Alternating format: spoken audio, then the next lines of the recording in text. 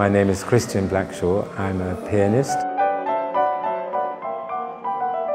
I was deeply moved by the engagement of the audience here.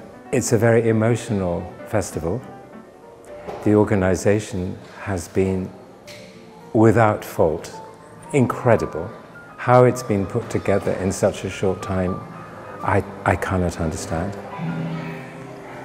So I, my part is quite simple. I, I need to perform. And I was performing uppermost for Lexo, who I, I was thinking about deeply throughout. Um, he was a very special person. I know thousands of people have uh, given very articulate renditions of, of their recollections of Lexo. So the atmosphere is charged with electricity, which is palpable. And um, I felt it at the performance last night, of course, for the family.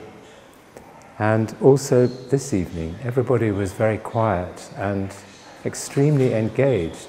And therefore, my role is made much simpler when I know the listeners want to listen.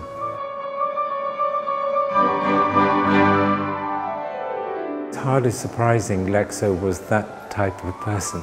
He seemed to be the genuine embodiment of everything that, that is true of being a Georgian, but most of all of being a fine human being.